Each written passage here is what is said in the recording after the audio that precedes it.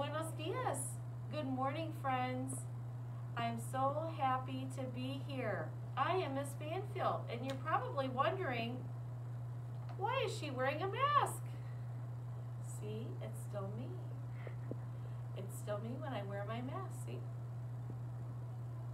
I am very happy to start a new school year with you. We are very excited. We are getting the room ready, and we are going to have a great year. I'm going to introduce you now to our wonderful other teachers that help us in the classroom. I'm going to send it now to Miss Flores. Hi friends, hola amigos. Me llamo, me, my name is Miss Flores. Um, I also have a mask and I can take it off too.